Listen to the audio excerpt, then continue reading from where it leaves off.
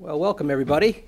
Uh, thanks for coming. I'm uh, Paul Glastris, editor of the Washington Monthly Magazine. We're here at uh, our, with our friends at New America for this uh, event, and we uh, we uh, are grateful for your attendance. Um, we're here to talk about the the airline industry and and a provocative story written for the Washington Monthly by Philip Longman and Lina Khan. Uh, Uh, Phil uh, and Lina are part of the uh, New America's Markets Enterprise and Resilience Initiative, uh, led by uh, Barry Lynn. They promote political, industrial, economic, and environmental resistance and document and clarify the dangers of extreme consolidation on the American political and economic scene. Now, Phil brought Phil and Barry brought me this story idea uh, about the decline of the American airline industry, and if you'd asked me ten years ago, uh, is airline deregulation a problem? I'd have thought no. Like most people, um, uh, airline deregulation had served, it seemed to serve my own interests well. I, uh, my hometown is St. Louis, and I fly there a couple, three times a year. And 10 years ago, you could jump on Southwest, uh, uh, you know, a week out and get a $120 round trip ticket and bag of peanuts and a nice seat, and it was quite comfortable. And uh, who was to argue with uh, airline deregulation? I was out in St. Louis a couple of weeks ago visiting my mother, and uh, uh, boy, you couldn't touch a Southwest airline ticket for under 500 bucks. So I got a two weeks out, three weeks out, I got a 400 plus dollar uh, U.S. Airways ticket, which really wasn't a U.S. Airways jet. It was a, something called Mesa Airways, and there was a one of these 50 seat uh, uh, jets where they you can't put your roller bag in the overhead compartment because they're too small. So everybody had to leave them at the jetway, and then all the way out, I had to change planes in Cincinnati. All the way out, there was a big guy sitting next to me, not fat, just a big guy, and he was ooching over into my seat with you know no uh, ability to do otherwise because of the narrowness of the seat. So I spent two and a half hours cricked over into the aisle like this. It was, uh, I, I, mean, it was a, as bad a flight as I've had since the bad old days of Aeroflot. It was. Uh, uh so we've all kind of uh, seen this sort of degradation of the airline industry. And so Phil and uh, Barry and Lina came to us with the idea of writing a story, uh, which we're going to talk about now about the role of airline deregulation and whether it served its purpose. Um, let me just introduce the panel here today. Um, uh, Phil Longman, uh, co-author of the story, is a senior fellow at the Washington Monthly and the New America Foundation. He's written extensively on transportation policy. He's also the author of, uh, I think, five books, including Best Care Anywhere and The Empty Cradle, and has written for such publications as the Atlantic Monthly, Harvard Business Review, Wall Street Journal, New Republic, and the Washington Post. Uh, we're very pleased today to have former Congressman Jim Oberstar. Uh, uh, Congressman Oberstar served, uh, he's the longest serving member of Congress in Minnesota history. Um, represented uh, Northeast Minnesota's 8th Congressional District from 1975 to 2011. He was chairman uh, of the House Transportation and Infrastructure Committee from 2007 until 2011. Um, he is a major uh, voice on transportation policy in this country and a visiting scholar at the University of Minnesota's Humphrey School of Public Affairs. Also with us today is uh, Tom Jones. Uh, Tom is a columnist for Memphis Magazine and co founder and main writer for the Smart City Memphis blog and a principal at Smart City Consulting. And finally, we have Josh Marks. He's the executive director of the American Aviation, uh, Aviation Institute, um, uh, which is uh, a part of, uh, works out of uh, George Washington University. Um, he was the senior director at MaxJet uh, Airways, a startup airline, and has been an aviation consultant and uh, is himself a private pilot. So we've got practitioners, policymakers, and uh, and uh, a couple of critics here. So uh, I just want to uh, start off by asking Phil to come up and, or to, to begin discussion. We just, we, we want to do it here at the, yeah. So Phil, I'd like you to, you all have the article. Uh, I hope you've picked up a copy, but I'd, I'd like Phil to do a little bit of a uh, summation of the argument, of the evidence, and so forth, and so that we have a, a, a base to start from. Phil? Well, Thank you, Paul. Um, We have an awful lot of expertise in this room, um, much of which goes way beyond mine, so I- I just want to say a very few words um, and hope, leave a lot of room for discussion. But uh, the article, for those of you who haven't seen it, um, begins, I guess, with the premise that American airline industry is failing um, from just about everybody's point of view. Um, certainly it's failing from the point of view of shareholders of airlines. Um, this is an industry that's lost $50 billion collectively in the last 10 years. Um, in times when energy was expensive and times when energy has been cheap, um, it doesn't matter. This industry has not been able to earn its cost of capital uh, over time. Um, obviously, we've seen just tremendous hardship and tragedy um, for the employees of airlines over the years. Um, and we all have stories like Paul shared, and I'm sure we're going to hear a lot more stories like that, of just the, the sheer indignity of travel, um, what, has, what it has become.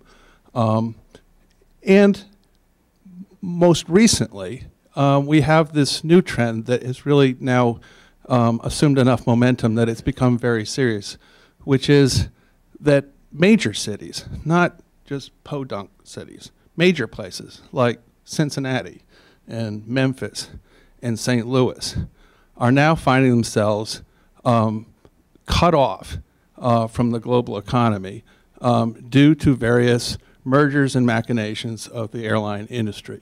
Um, the, these cities now um, are seriously handicapped in their economic development because of their deteriorating air service. Um, this despite um, cities like Cincinnati being uh, headquarters of, of major um, corporations, Fortune 500 corporations like Procter and Gamble, right, or St. Louis uh, with Anheuser-Busch InBev, or Pittsburgh with all the green energy and uh, renewal that's been going on there. So our airline policy, or lack thereof, has in effect become more and more a kind of de fa- de facto industrial policy, uh, whereby the fate of cities and regions rises and falls uh, according to how well uh, or how poorly um, the uh, airline industry uh, and its financiers um, deem to give it service. So um, that's the basic predicate of the piece. Uh, we spend a lot of time looking for um, inspiration um, from the long history of the United States in regulating railroads. And one might remember that uh, the first regulation of uh, basically any industry in the United States uh, came in 1887 uh, when the Interstate Commerce Commission was um, formed um, to deal with problems that are extremely analogous um, to what we have today. Um, we, I think, have been under the thrall of an idea that uh, deregulation has um, been uh, on net a positive in lowering fares. Um, I think that um, premise in itself needs scrutiny uh, because appears that the actual rate at which fares have declined um, uh, was lower after deregulation than it than it was declining before. Um, and so I hope we'll have a very rich discussion about all this. Um, again, our premise is only that we have a problem here now that can't be ignored, that needs to be fixed, that has risen now to the level of affecting the entire uh, course of economic development in the United States. And we just look forward to an earnest conversation. You. Well, Phil, thank you, and, and uh, Lina for your uh, excellent article, uh, which I uh, downloaded. Very proud of myself. I'm able to use the iPhone, the iPad, and the MacBook Pro, and and, and, a, and, a, and a printer with an Ethernet cable. I didn't know any of those things existed until I left Congress and didn't have anyone do that for me. I used to tell my staff who pleaded with me to learn the computer, I said, look, if I learn that, then who needs you? they said, okay, just no, don't, don't, don't worry about it. But uh, th this is really a, a splendid uh, piece and, and well uh, thought through, well researched. In 1986, eight years after deregulation, there was a conference of airport managers, the uh, Association Airport Executives and the uh, what's called today the Air Airports Council International ACI in Minneapolis. During the conference, one of the principal speakers said, "The problem with the aviation business today is we've got too many airlines. What this industry and our uh, airports association need is a few bankruptcies." Well, they've had their few bankruptcies. In fact, a lot of them. In 1978, I sat uh, on, on the uh, dais at uh, committee uh, markup, full committee markup for the Aviation Deregulation Act. And it really troubled me, bothered me a great deal. How are small towns going to be served in, in an era where we don't have anybody standing between the airline and the airline traveler? Uh, no one looking out for the interest of cities rather than uh, the uh, airlines looking out for their own interest.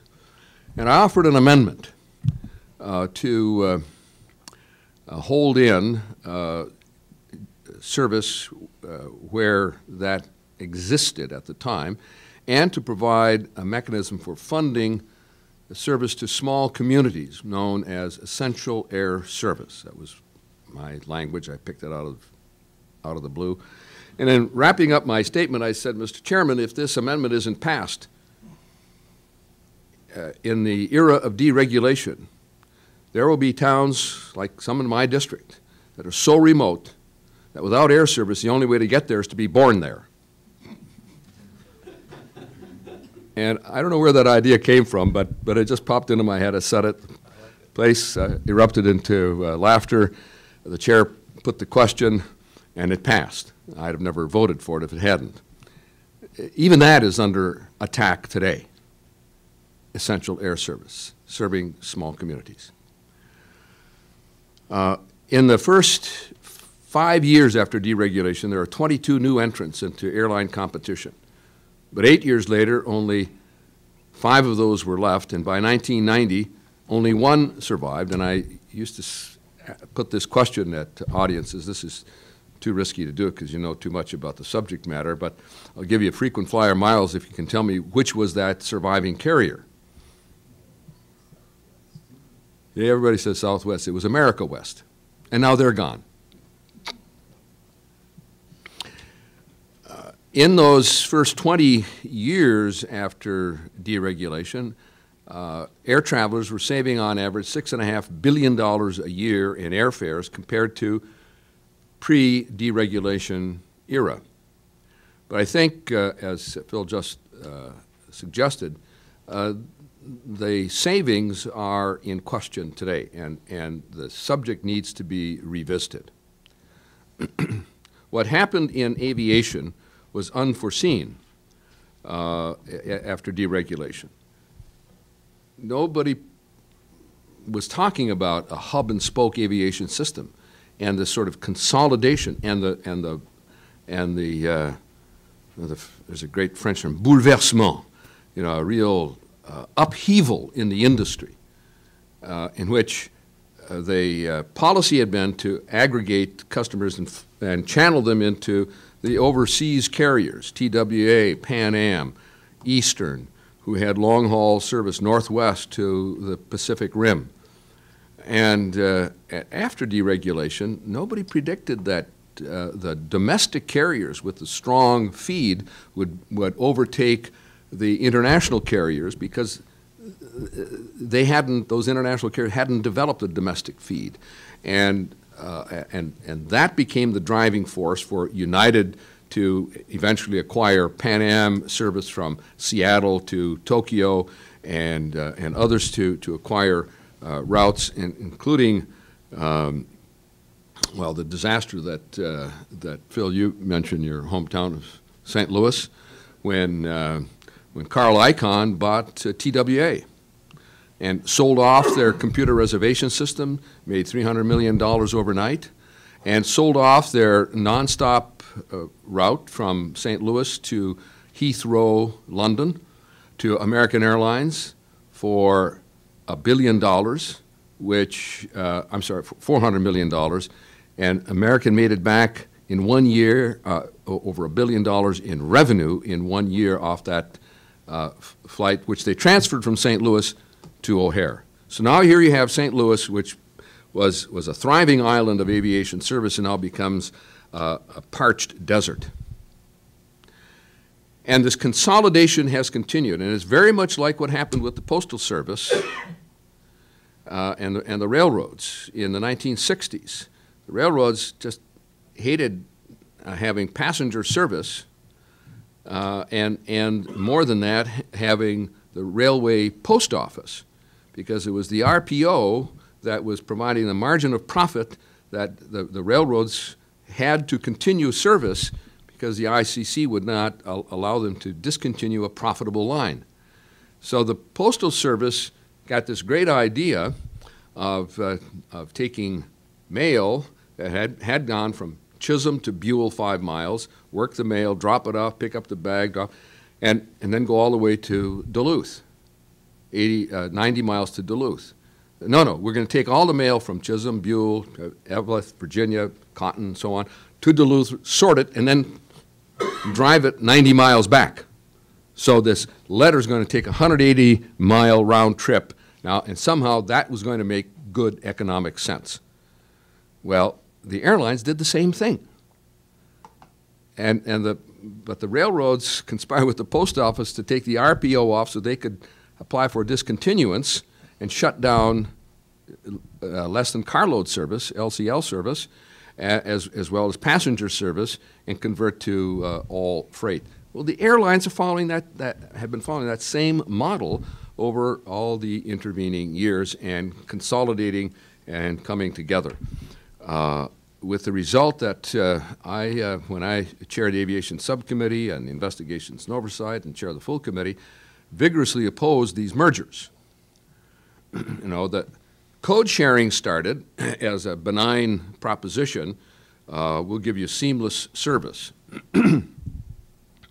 and um, I was uh, home cleaning out some, some uh, drawers, found my father's log uh, in 1966 uh, or so. He traveled out to Washington to visit us.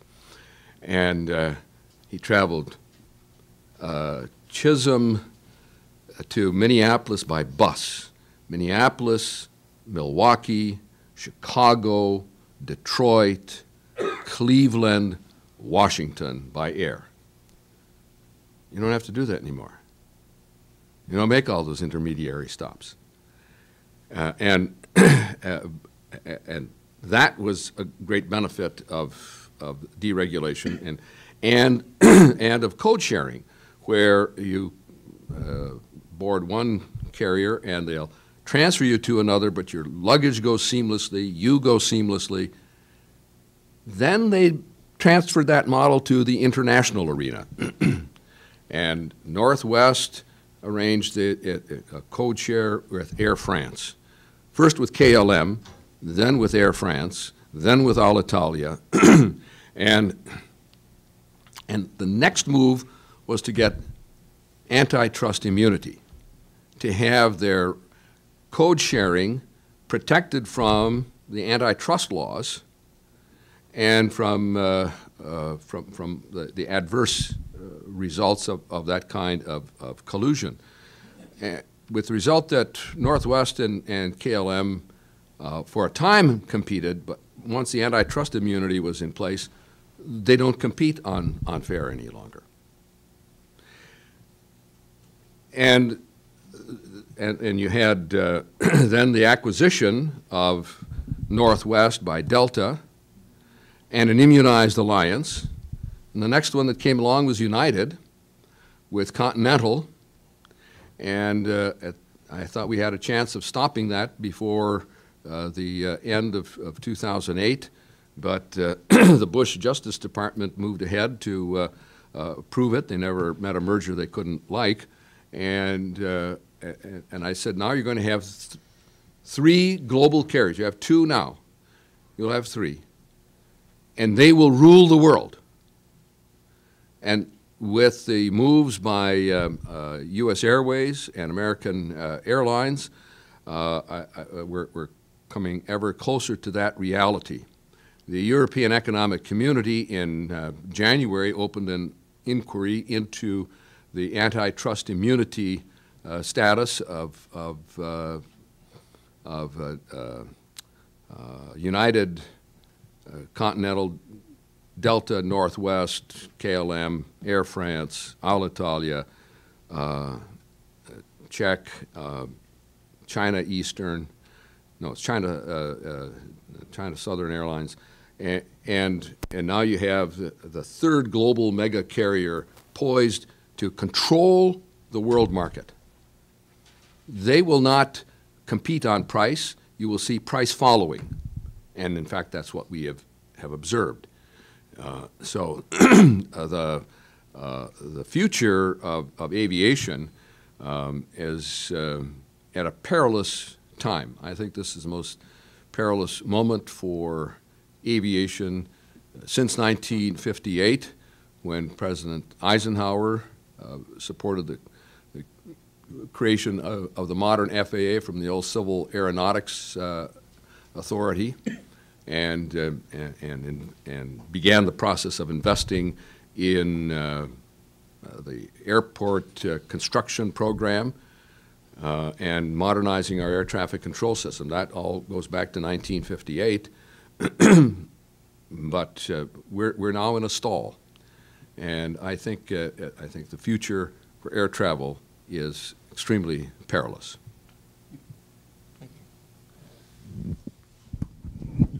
pull this off because it's better than speaking directly into a mic. Um, so I'm the executive director of the American Aviation Institute, AAI, and obvious disclaimers right out of the gate. Uh, we do tend to take uh, market-oriented uh, stances when it comes to regulatory issues.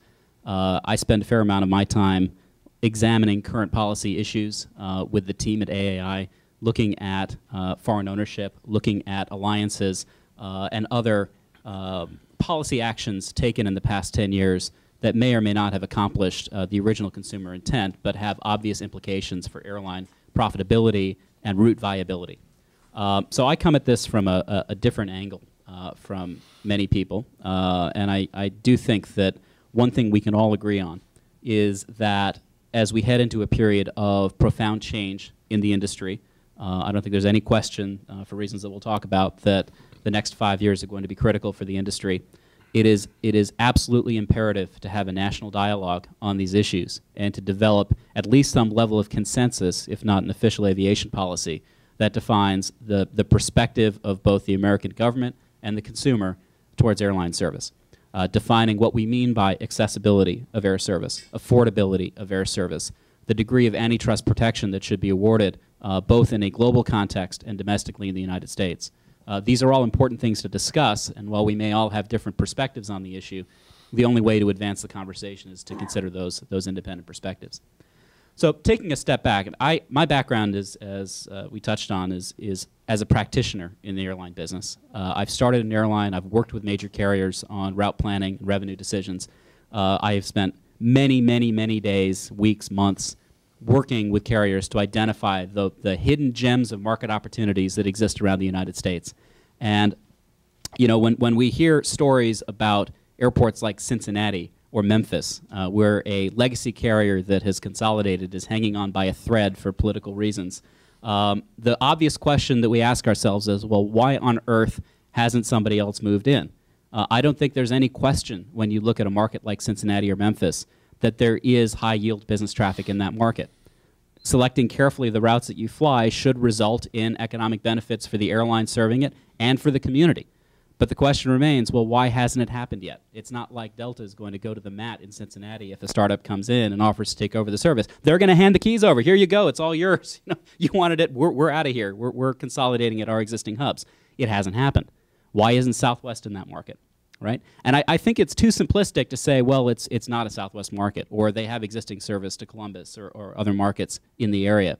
The, the fundamental realities are that we, we see a divergence in today's market between airlines that serve business traffic and airlines that serve leisure traffic.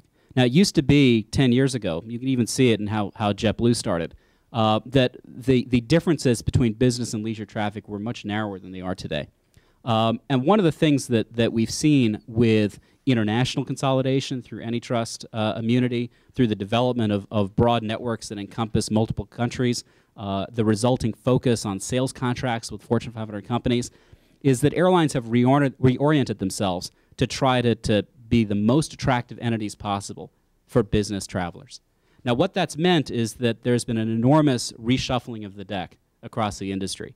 Uh, to start with the, the, anecdotal stories about uh, Southwest Airlines and their pricing, even Southwest has moved towards more of a business-oriented model uh, it, with higher fare classes, uh, preferred uh, boarding, and, and other amenities that they use to target higher-end travelers.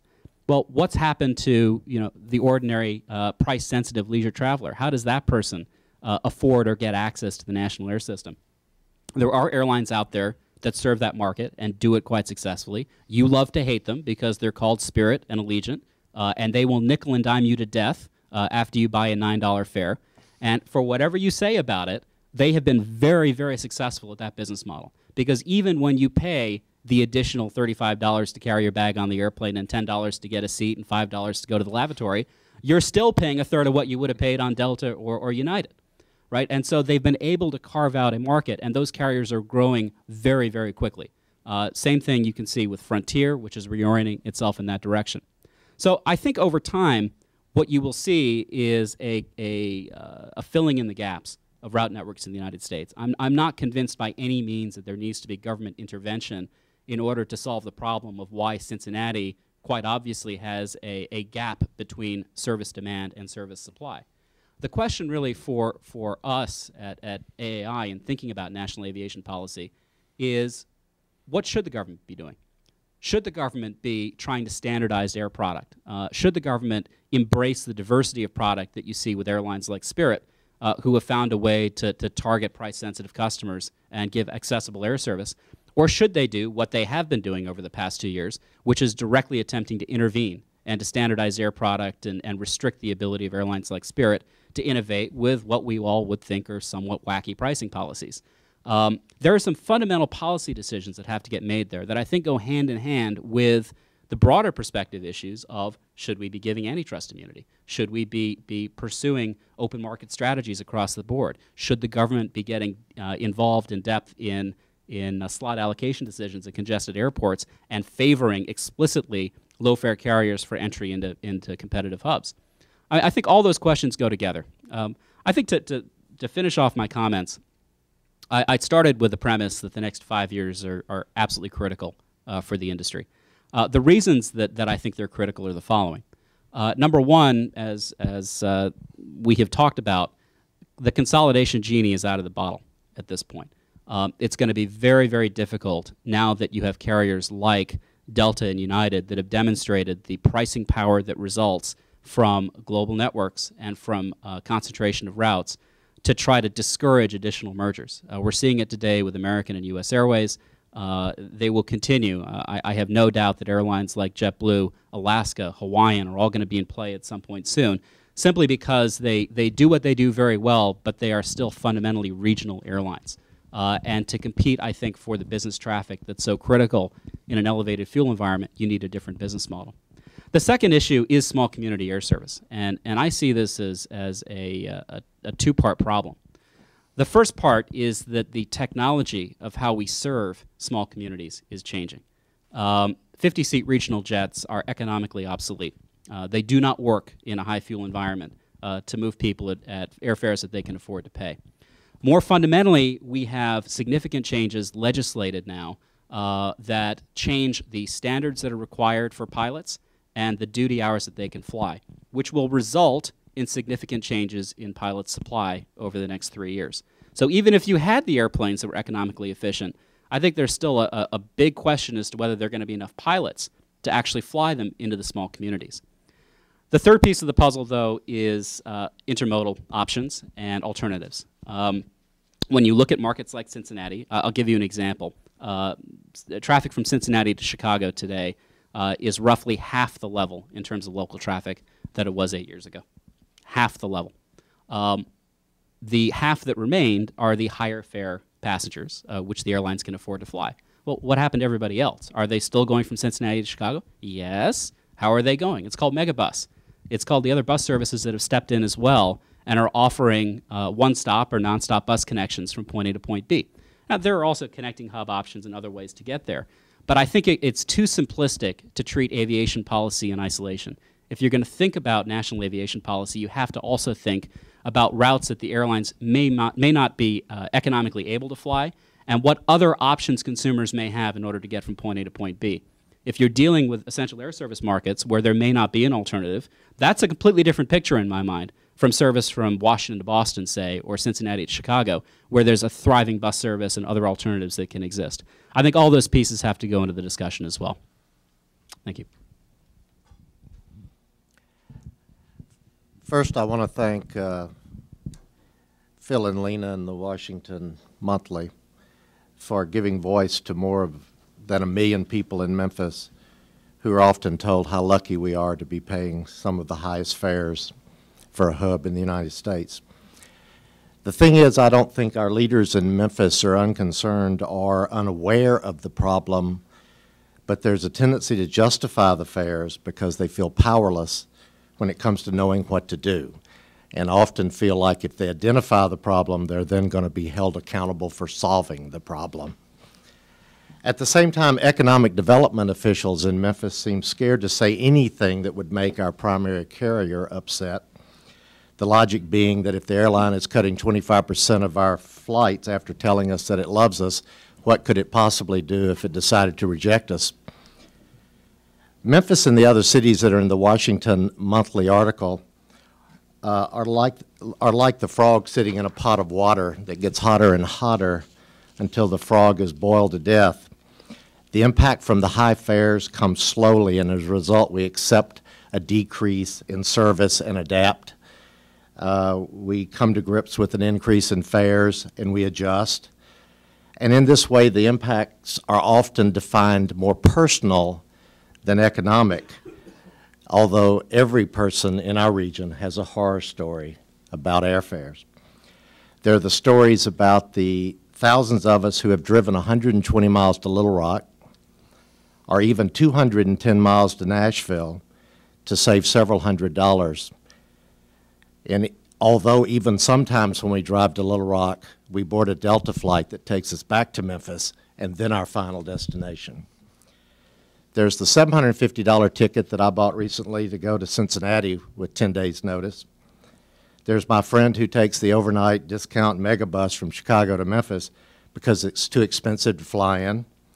There's the $900 ticket to Austin for a Memphis law firm that regularly works there and is finding itself hard to be able to make that sense of that.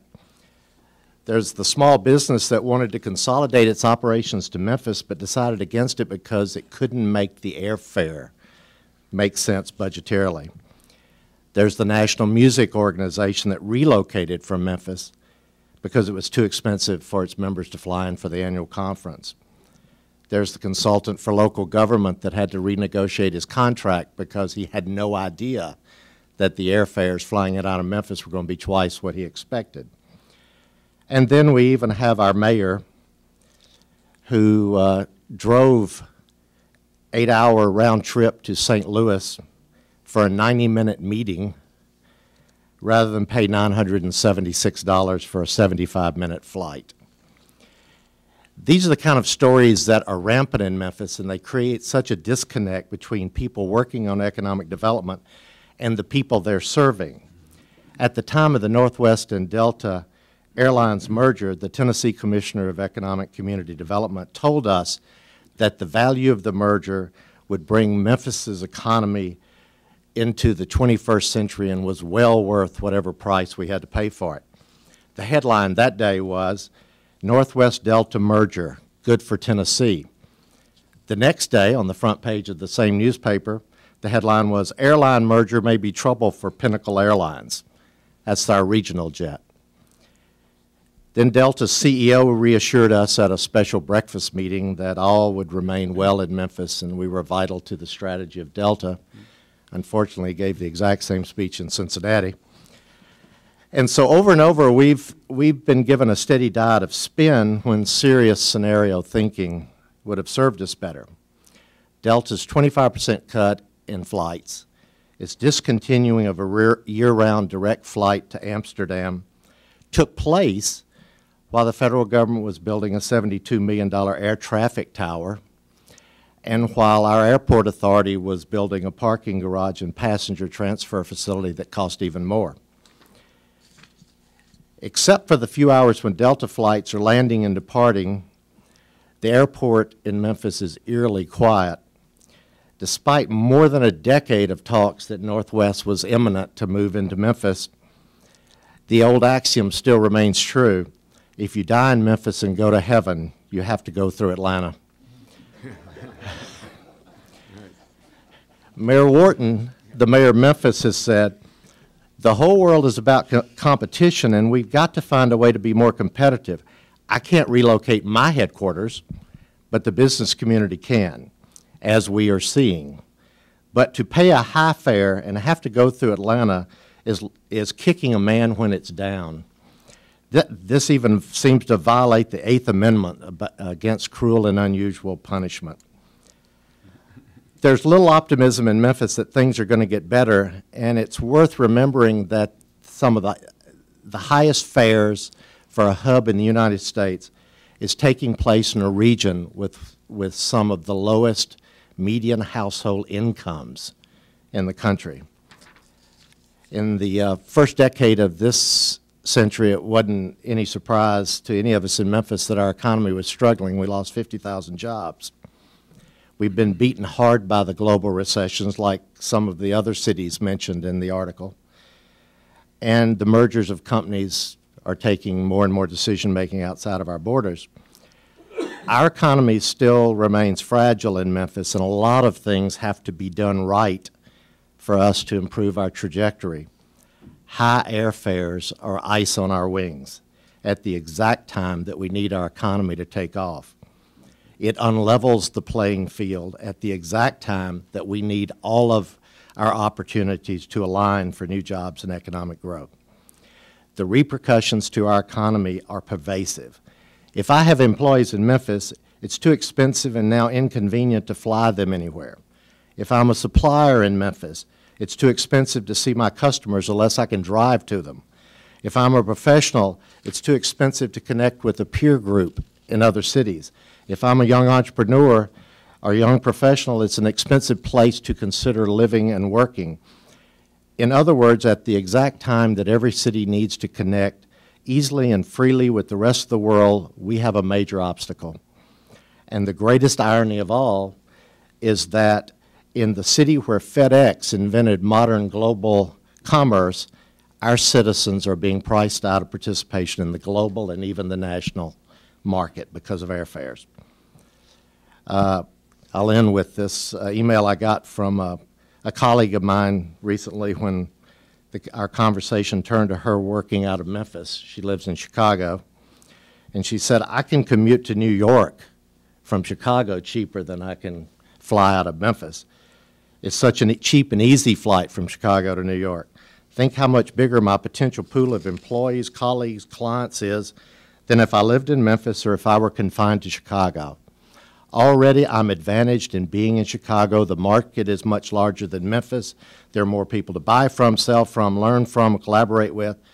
Now add New York to my market. Then compare that to Memphis. It's terribly unfair, and it's getting more unfair every day.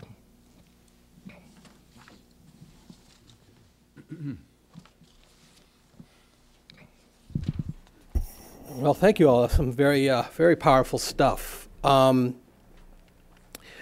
I want to open up the discussion uh, first uh, uh, among us, and then and then with with those here. We have a just looking at the guest list, a lot of uh, uh, of very smart and knowledgeable people about the industry, and so I want to bring you into the conversation.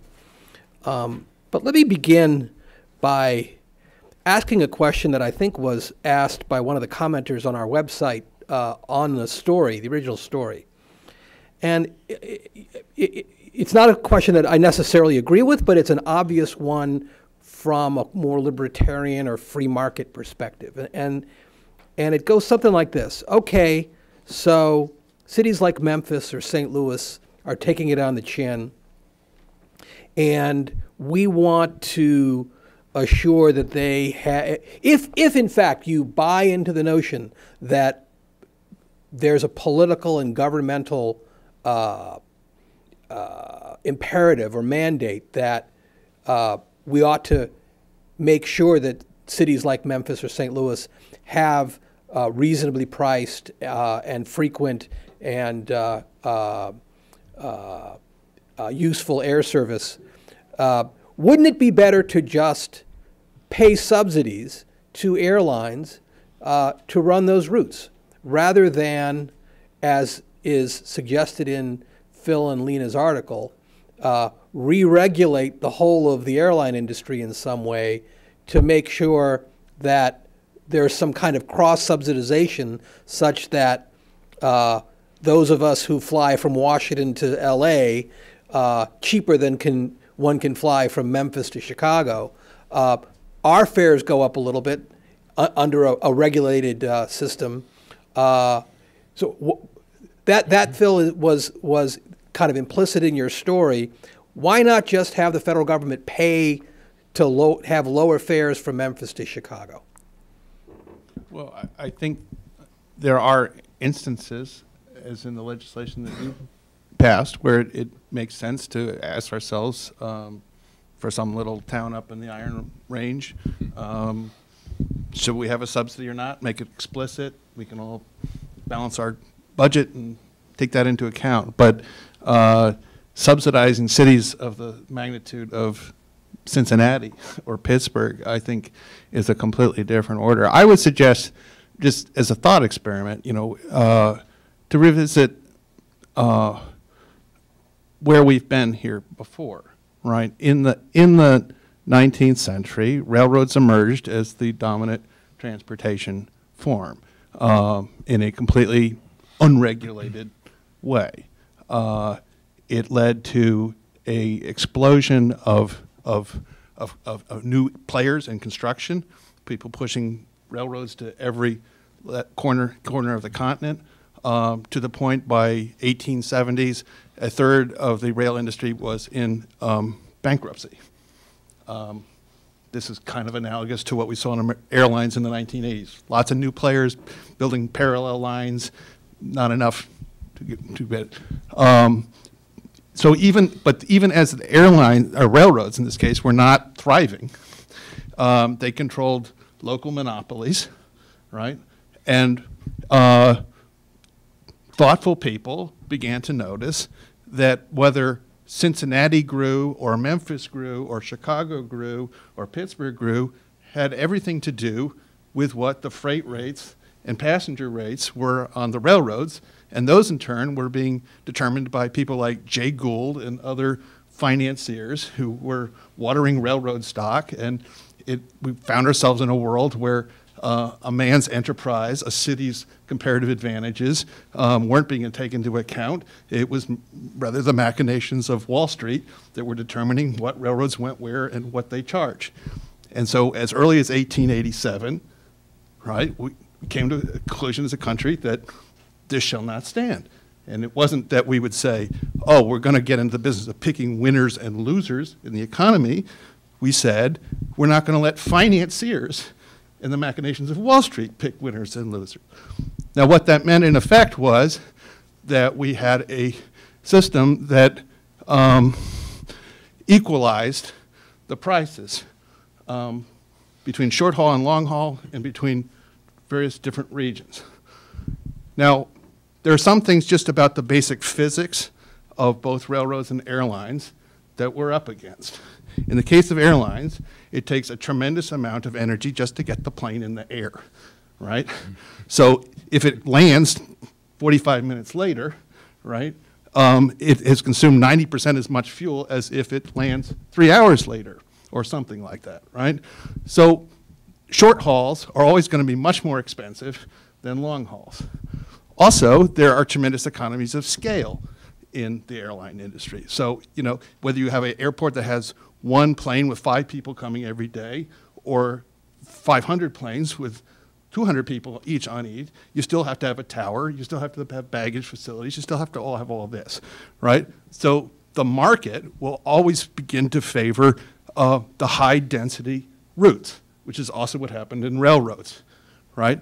So that's why you can fly from here to San Francisco for half what it costs to fly from here to Pittsburgh, right? It's because the density, the economies of scale, and, and the fact that the short haul actually does physically um, create as much cost, almost as much cost as, as so now you're going to say, well, you're going to just let live in that world as we find it, just go on like this. Um, I think not. I mean, it's certainly not the American tradition.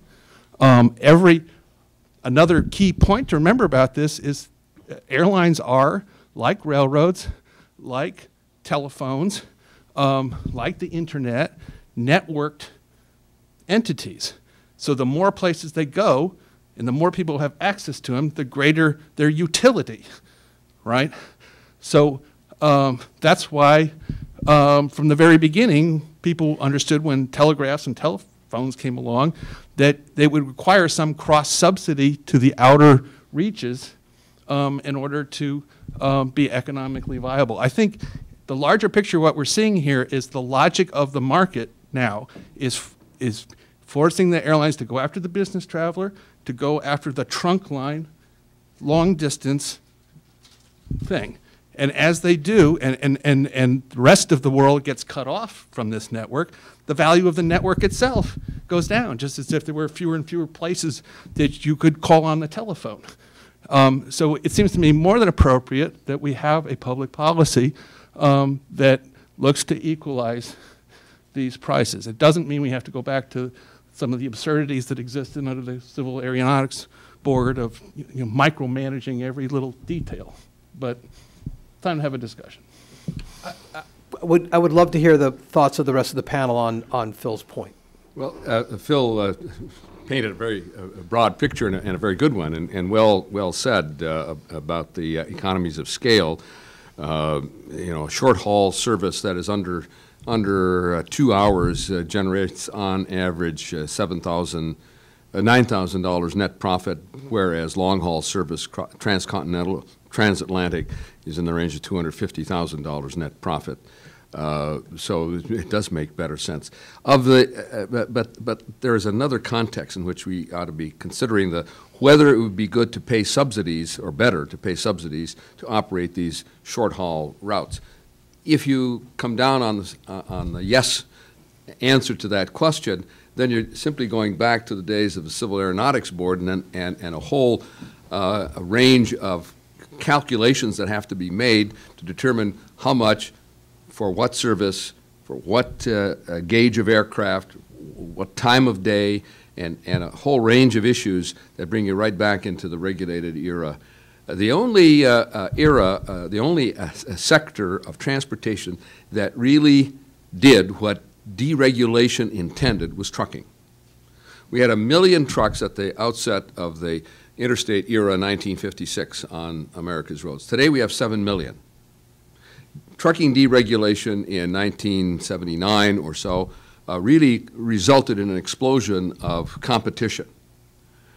Uh, in, in railroads, we had 60 class, 60 railroads, not all of them class ones, but they're all competing in 1980. Deregulation is supposed to get the government out of determining market entry and pricing, and, and that the Justice Department would uh, prevent uh, collusion, combination, and consolidation of the industry. Today we have four, we have two duopolies four major Class 1 railroads, two east and two west of the Mississippi. That's not direct head-to-head competition. And that's this, that is what is happening now in aviation. If, if the next step goes, goes through with the U.S. and uh, uh, American. So uh, the, the context should be, what is the public interest? What is the public role? In 1787, the Congress uh, passed the, uh, Continental Congress passed the Northwest Ordinance, which in 1980, in 1789 was incorporated into uh, uh, law of the of the new uh, United States by the first Congress as the free waterways policy. That the waterways are the common heritage of all Americans. The airways are the common heritage of all Americans. No one owns that airspace. You have a privilege to, to fly in it and to use it. And in that context, then, what is the public interest? And the public interest in, in, in uh, aviation deregulation was that we'd have competition. That, uh, as uh, Mr. Marks said uh, a little uh, while ago, uh, should, should we, sh should there be government um, intervention in the marketplace to equalize competition. Well, that should have happened at the outset, not in, not in the aftermath of the mergers. The DOT has, has uh, one part of that regulatory authority, and Justice has the other. Justice has antitrust, which is a very blunt instrument, very difficult to, uh, uh, to uh, implement whereas DOT can consider a much wider range of, of factors in determining whether a merger uh, would or an acquisition would be in the best public interest. We still have the public interest in the air service, and uh, determining the answer to that question, whether to pay subsidies, is a valuable and useful debate that we ought to engage in in this country. Well, I, I think as you say, there, there's a question about whether there should be intervention. And, and the first step in that process is to define the criteria on which the American consumers uh, prioritize what's important to them. Right. Uh, part of our frustration at, at, AAI is that there hasn't been a, a defined playbook or a set of criteria that have been uniformly applied by DOT, even under the current administration. They flip-flopped on a number of these issues. They simply can't decide whether they're free market or interventionist. And that's what's paralyzing for the industry because you don't know what game you're playing. I think with respect to, to the, the needs of small hub airports, small communities, clearly we have a, a different set of issues at play. Large, large metropolitan areas like Washington, New York, San Francisco, Chicago will always have the economic strength to be a competitive environment. When it comes to small hubs, I, I posit as follows. You can choose between diversity of service and diversity of fares, but it's very, very difficult to get both at the same time because you're dealing with very different economic models uh, when you choose uh, to, to, have diversity of service and a lot of nonstop routes in a, a, relatively small market. To accomplish that, as we saw in Cincinnati or we see in Memphis, uh, it involves a lot of regional jets, uh, smaller aircraft that are flying a smaller number of people to diverse destinations, giving them the convenience of nonstop service, but with higher airfares to pay for it. In contrast, uh, with markets like Cincinnati, and this has developed over time as, as Delta has scaled the hub down, uh, there are alternatives that are lower fare.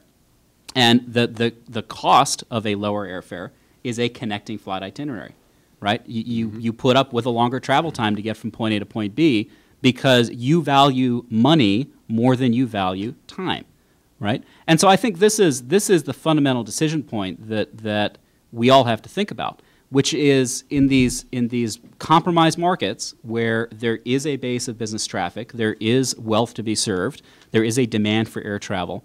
The airlines today are not well equipped to play this middle ground of both diverse service and affordable fares. Uh, they will look at these markets as opportunities if they can if they can tap that business traffic and charge a, a, an appropriate fare. But the moment that they see that they can't do that and that aircraft are better, more more profitably deployed uh, from a shareholder perspective in major hub markets, it's natural to expect that the airlines are going to move the, the service out. So, you know, I think that, that when you talk about or, uh, cities like Memphis, you can't complain at the same time about length of travel and airfares or, or you know, the, the fact that nonstop routes that used to be available a couple of years ago uh, you know, aren't available today. When you look at Cincinnati, you know, Cincinnati was never a low-cost air environment. It was always one of the prime places where Delta screwed people in terms of airfares because they could, because they could, right? Uh, It was it was a market with a very high willingness to pay, and Delta was able to then base a hub there. They made up for the traffic gap, the fact there weren't a lot, lot of leisure passengers in that market, by connecting people from New York to L.A. and filling airplanes from Minneapolis to Atlanta, and that's how they made that hub work. The difference now is that markets like Detroit have better business bases to work from. So if you're going to connect traffic, it's more profitable for the airlines to do it in a market like Detroit than it is to do it in a market like Cincinnati. Those are the fundamental questions that need to be debated. Is there a need for policy intervention uh, when airlines make those kinds of profit-driven moves, or is this simply a fact of life for these, these small hub communities? Can, can I just uh, quickly say, it, it seems to me, sorry to in, interject here, but we talk about the airline market, but this is an airline market, and Phil's piece makes does an accounting here, in in which we as taxpayers are paying an enormous amount of money to allow the market to function. Give me an example of that. Airports, Uh, you pay a PFC, which goes to the airport under a federally administered program, right? right? Okay. Okay. Um, the bailout of, of, of pension funds as, as, as airlines go bankrupt, right? We're paying for that. For a certain number of airlines, correct? Yeah. So, so all of the, all of the R and D that went in originally to airline, uh, to airline uh, technology, um, the FAA. Uh, so, so, so it, it's not as if you, you, the way you ask the question is: Is it, it, it that a, someone living in Cincinnati or Memphis um, uh, ought to accept um, that because of their location in a major metropolitan area that happens not to be one of the top eight, that they have to choose between uh, cost and frequency. I think was the, the distinction.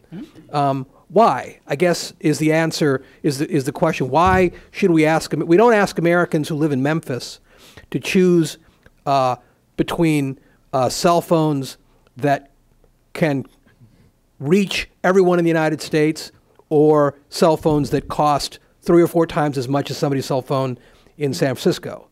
So it just it just it's a it's a for the average person I think they would wonder why they have to make that choice. Okay, well, let- let's, let's break those issues apart. Um, I think, uh, first of all, you can take issues like the, the you know, roughly $3 billion of cost that went into the 9/11 bailout and say this is a special situation.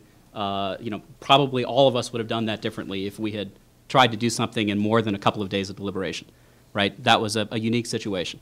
Uh, When it comes to federal infrastructure funding for, for uh, aviation, um, I, I agree with the point that the costs of the National Airspace system uh, are borne by all travelers in all markets. Okay, the way that, that it works today in terms of uh, ticket level taxes and segment taxes uh, does roughly allocate the cost of that infrastructure on the routes that people fly. So New York passengers are paying a disproportionate share relative to Cincinnati passengers.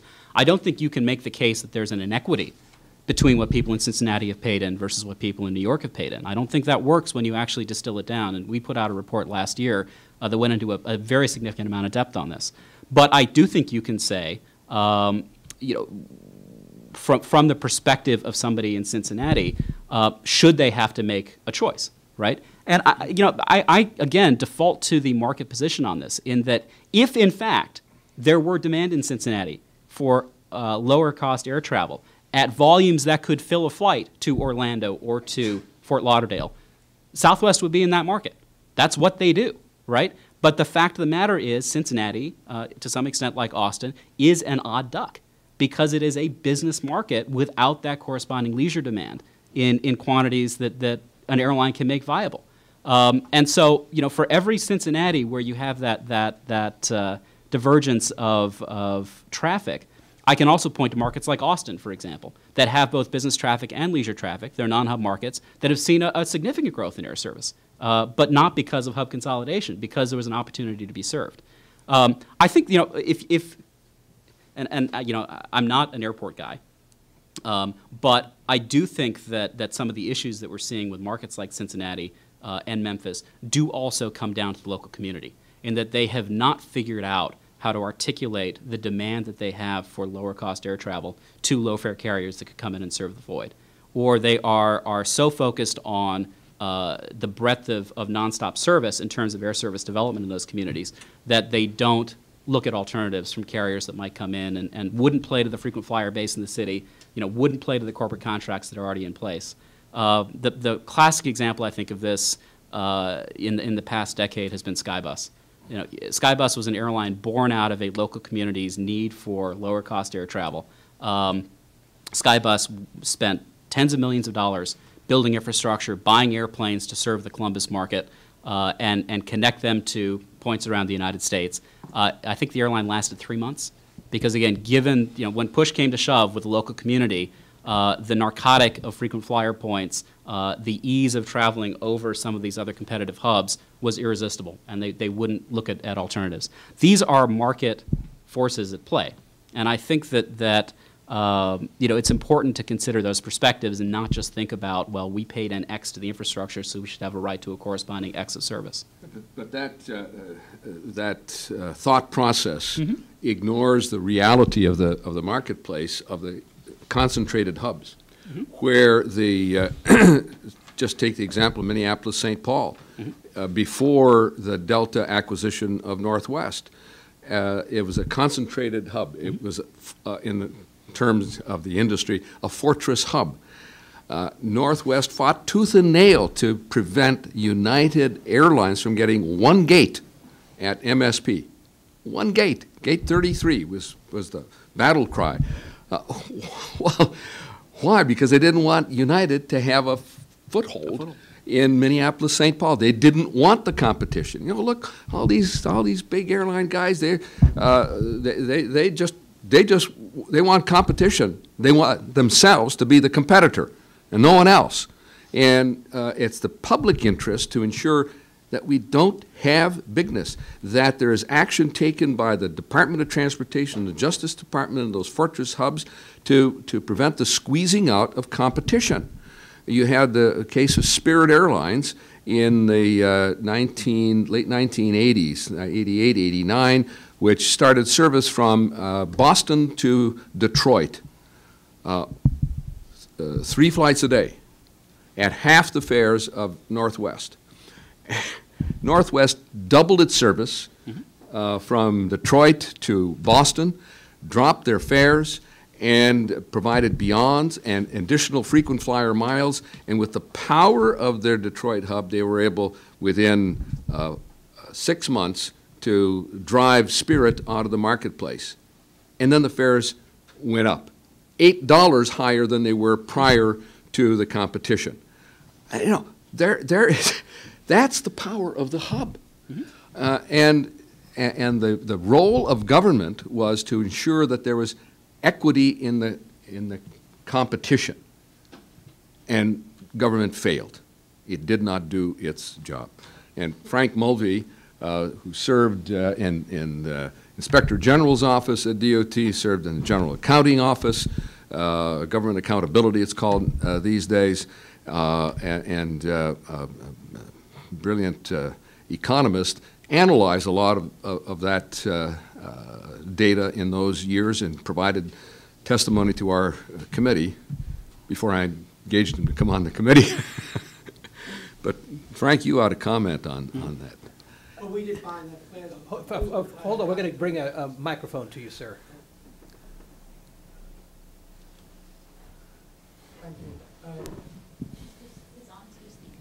We found that uh, fares were always higher at hub airports. Uh, We looked at all the hub airports around the country, including Cincinnati. In fact, what triggered it to begin with was the increase in fares after the Ozark acquisition in, in St. Louis. And we found that fares were much higher in, uh, in St. Louis following the acquisition of, of TWA by Ozark, uh, Ozark by TWA. And uh, the same thing was happening around the country, and we found that fares were always higher at, uh, at, the, at the concentrated hubs. The power uh, that the airlines had, as Mr. Oberstar said, allowed them to charge higher fares. And it also allowed them, along with other things, to co- uh, construct barriers to entry. And at the GAO, we identified eight barriers to entry that the more powerful legacy airlines were able to erect, Many of those have now since gone by the wayside.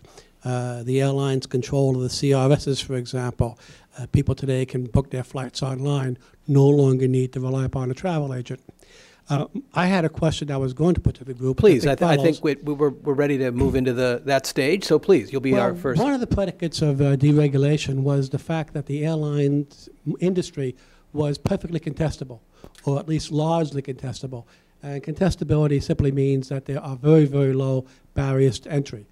We found that there were, at the time, uh, 10 years later, significant barriers to entry, but many of those have since gone by the wayside.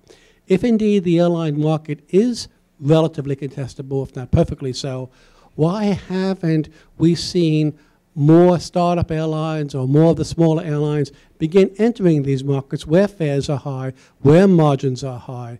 Is it because the overall economy in the U.S. and globally is down, and that once the economies of the world and the United States improve, we will again see new entry? Is this a, is this a cyclical thing, or is there a permanent uh, loss of service to these smaller communities? Phil, Phil, I think in, in some ways you uh, dealt with that a little bit in your in your in your piece. Can you um, maybe bring uh, a historic perspective to the gentleman's question? In other words, w- were there not uh, st- uh, uh, were there not startup railroads that were allowed in, and and and uh, what happened there? Um, well, yes. I mean, we, we the first of our great bubbles, actually the second. First we had a canal bubble, then we had a railroad bubble, right? Um, largely financed by naive uh, Europeans, right? Um, and it, uh, so the market got um, very enthusiastic about railroads and built them everywhere. And so we had an industry that um, couldn't earn its cost of capital either, and ultimately um, required regulation in- in- to maintain its viability as a private enterprise.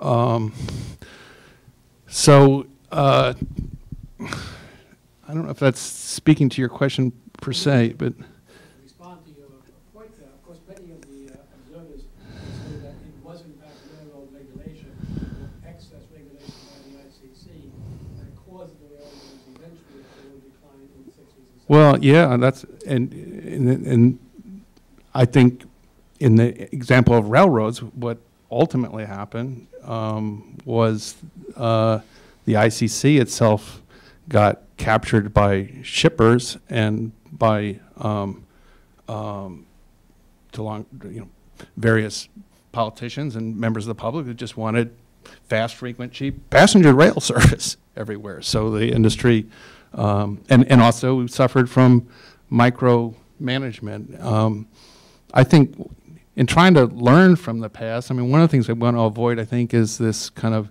um, judicial model that the ICC was. Know, the ICC, you know, used to, it was like a court, right? The commissioners wore robes, right? And people like Louis uh, uh, Brandeis would get up and argue cases, right? And uh, there, there came to be a, an ICC bar, right? And same thing happened with the Civil Aeronautics Board back in the day. It was this gigantic bar of, of people. And, you know, it was all public record, but it wasn't, it wasn't political enough, right? It, it, decisions came down to deeply technical questions um, that just allowed the people who had the most money for legal counsel to, to carry the day. And so, yeah, I, I don't want to go back just to the old days, right? But I think bottom line is, you know, we created this ICC in, in, in eight, 19, or 1887. It became the de facto industrial policy of the United States. And we had to, that, that our government had to decide questions like what should be the relative rates of shipping a, a hog versus a ham from Dubuque to Chicago, right?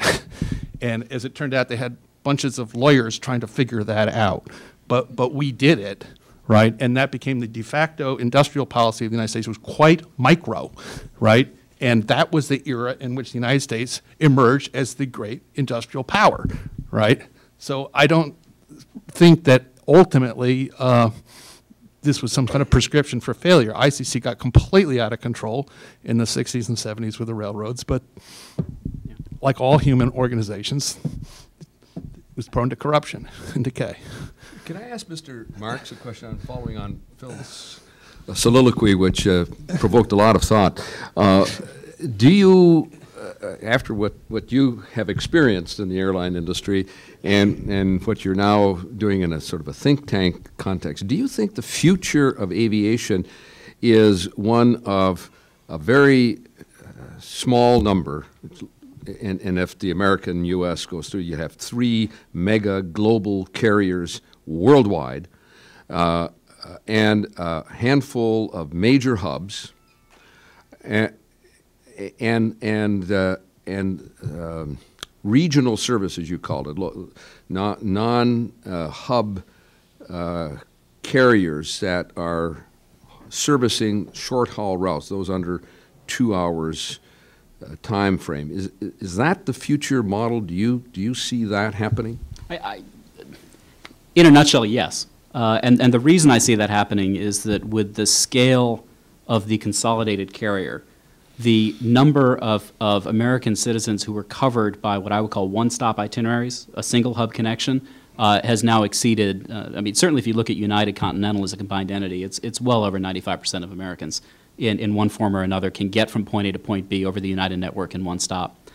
The, the, the other factor here, though, that plays into this is, is the viability of a startup airline. And having gone through that process, um, in the aftermath of ValueJet, uh, the process of certifying airlines fundamentally changed in the United States. Uh, we, we prioritize safety over, over economic viability at that point.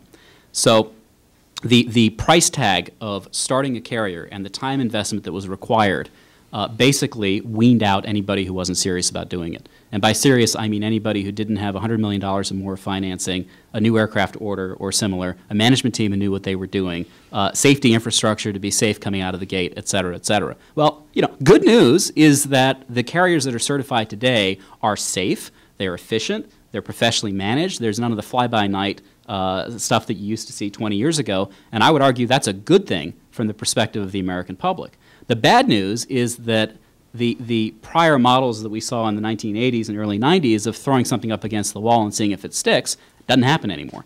And, and that's, a, that's a policy choice that you know, even free market people like us would say is, is a good thing and that it, it, you know, there are certain safety and operational standards that the FAA does a very good job of holding people to. But it makes it incredibly difficult to start a new carrier. Uh, of, of the set that have been certified since the process changed, uh, JetBlue and Virgin America are the two that have, have made it. Uh, and both, I would argue today, are, you know, JetBlue had a period of success, but they're now marginally better than marginal, uh, but not exactly blowing the doors off. And Virgin America is still unproven in terms of whether they can survive over the long term. It, the amount of capital that's required to build an airline in the United States you know, is, is certainly a nine-figure number now. It may be a 10-figure number uh, to make it happen.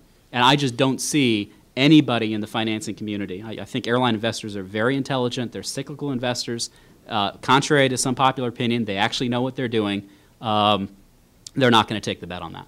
So I do think that you end up, by default, therefore, in a world with, with a handful of aggressive, low-cost carriers with a highly unbundled product, an absolute low-fare focus, uh, an unvarying uh, you know, push towards innovation and point-to-point air service.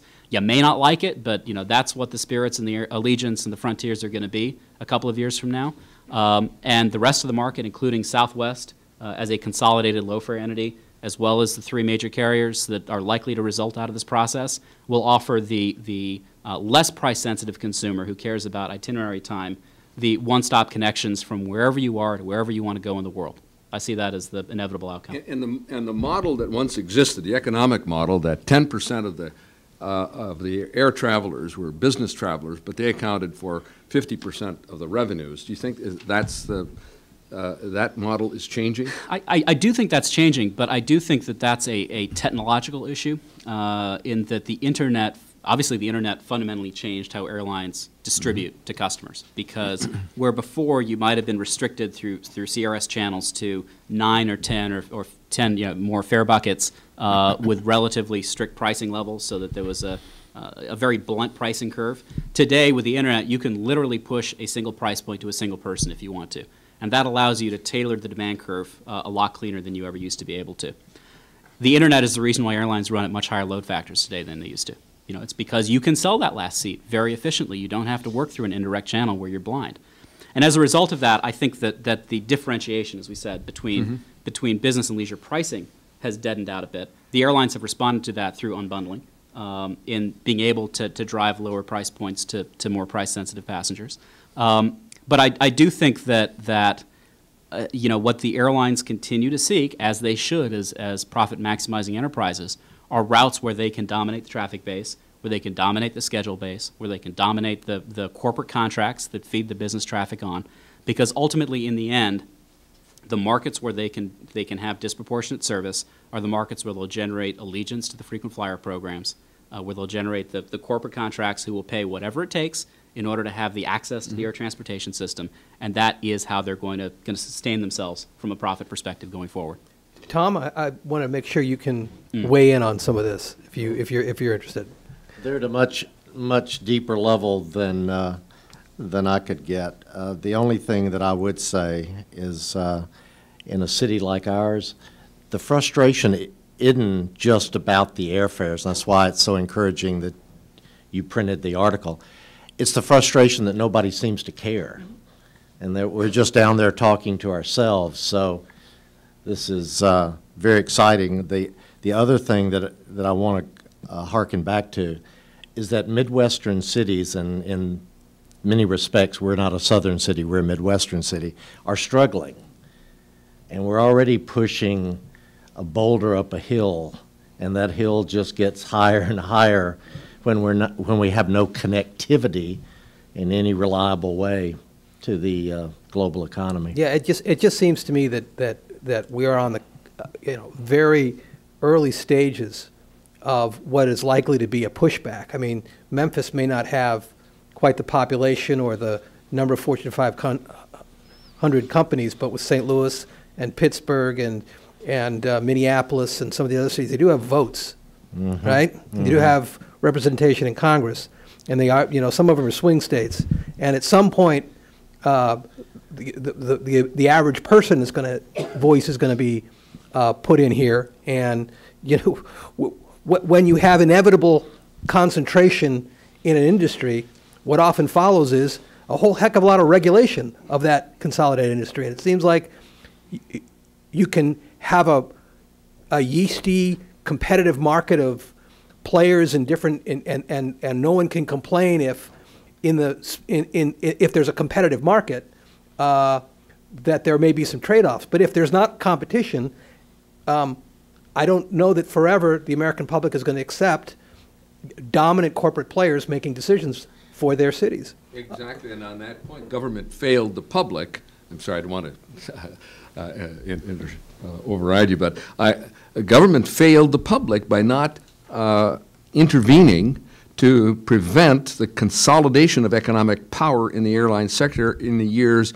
after deregulation, after the explosion of competition, contraction, consolidation, and, uh, uh, and, and and now global uh, consolidation.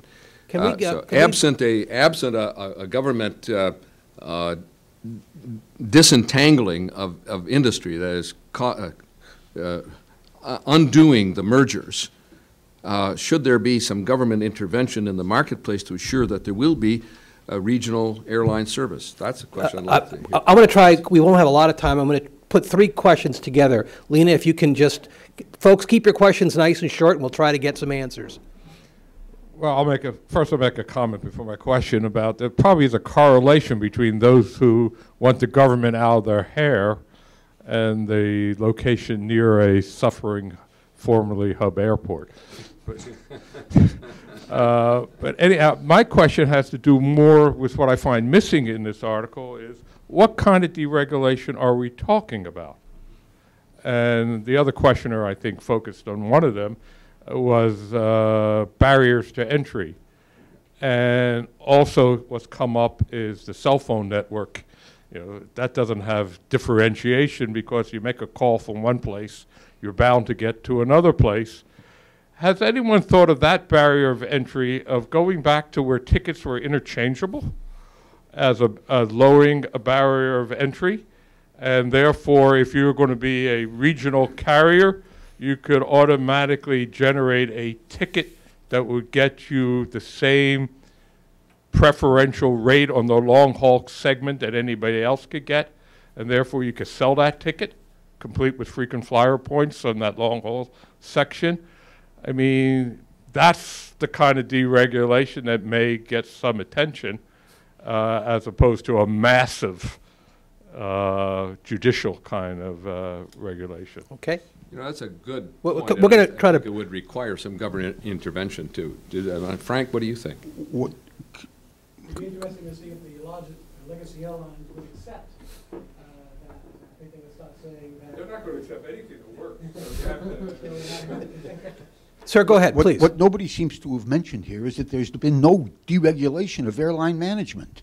And what I want to adjust is the question of the 75% requirement of U.S. ownership. Maybe we could get some of those naive Europeans to come in and operate to Memphis and to operate to Cincinnati. When you see the number of American airlines that have gone bankrupt in the past 10, 20 years, it is absolutely shocking. And you cannot blame that on deregulation. You have to blame an awful lot of that on very poor management.